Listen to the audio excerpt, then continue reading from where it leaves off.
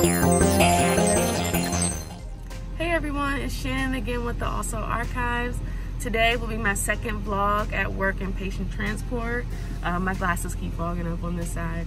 Um, but today is day two of my rotation. So what I do is I work six days straight, six 12 hour shifts in a row, and then I'm off for eight days. So it's pretty nice. But today I'm working with my regular partner who is a paramedic. Yesterday was day one, so we, in total, I drove 200 plus miles just yesterday in the 12 hour shift. And um, we had patients ranging from COVID positive to heart attack patients to um, patients that were on a ventilator. And we just took people to different hospital facilities for higher level of care. So today we'll see how it goes and see where we'll be sent and how far I'll drive today.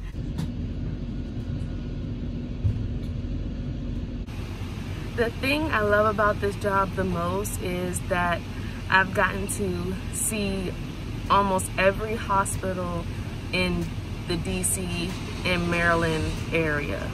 A couple, I've been to a couple hospitals in um, Virginia, so that's been a very valuable experience for me as a pre-med because I not only get to see how the hospitals are set up, how they function, how they run, but I also get to interact with a lot of the nursing staff, the patient care technicians, um, respiratory therapists, and all the different fields that work in the medical, um, in these medical facilities and nursing homes.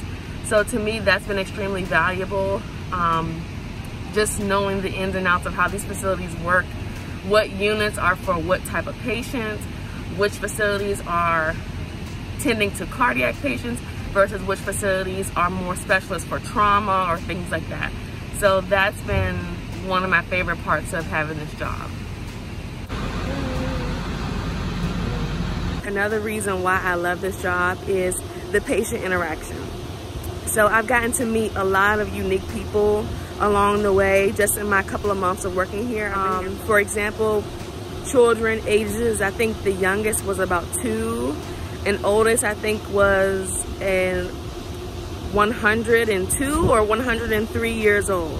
So the full range of ages I've been able to interact with.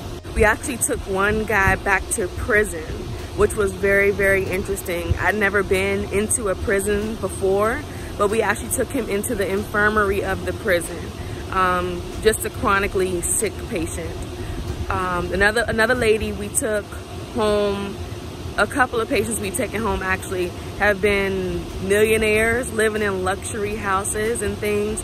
So these are all experiences that I would have never gotten and people that I wouldn't have been able to interact with if it wasn't for this job. So it's it's allowed me to improve on my communication skills, compassion skills as far as being able to look at people where they are and meet them where they are and not judge them or not make any any preconceived notions about them and what their life is like um, because you really never know what people are dealing with or what they're going through in their private life.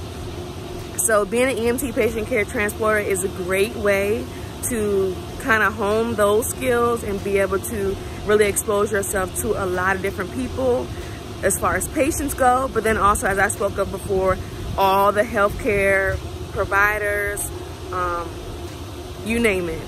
So this, this vlog wasn't too, too exciting, but I hope it gives you a little bit more of a view into what my job is like. A lot of driving. I've already drove about 130 miles so far, and we're only about halfway through the shift. So I'm probably gonna hit um, another 200, if not more tonight. Now I'm back. I have just gotten a nice fresh cup of coffee from 7-Eleven. This next call is going to Bethesda and I'm not quite sure what's going on with them, um, but it is an ALS call, which means that um, it's, it's a transport that requires cardiac monitor. So we take the little stickers and put the leads on the patient's chest and, and, um, and legs to, to monitor their heart. They're also hooked up to the blood, the blood pressure monitor and the pulse oximeter to make sure that their oxygen is, they're breathing okay, their oxygen's normal. Um, So they're on that for the duration of the transport. So that is pretty much every single one of our calls. They're all ALS calls, so we do hook everybody up the same way for each call.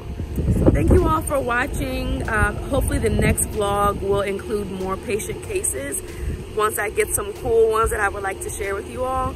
And until then, if you could please, please like the video if you enjoyed it and subscribe to the Also Archives. I'm trying to get to 100 subscribers so I can make my um, URL unique. So please, please help me with that. Just subscribe right down below in the box below. But thank you all again and stay tuned for the next video.